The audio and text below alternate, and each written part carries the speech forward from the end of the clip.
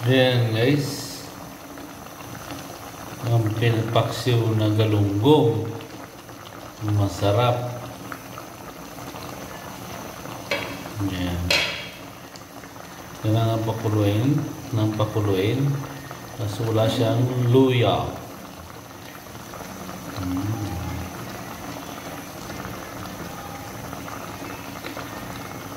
Ayan guys. Sarap niyan.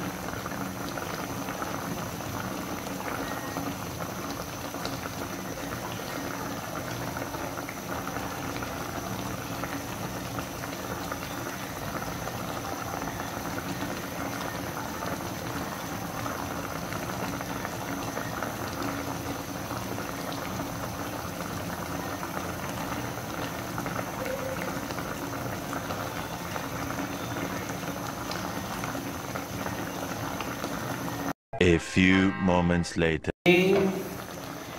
Paksiw. Yan guys, luto na yan. Paano na yung kulang ng konti yung sabaw.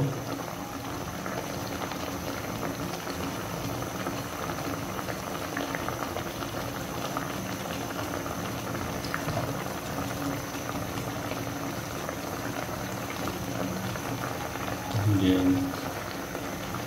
Wala lutong luto.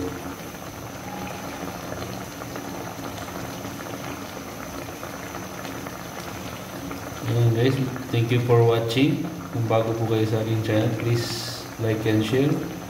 And click the bell for more videos. Ayan, thank you po sa inyong panonood.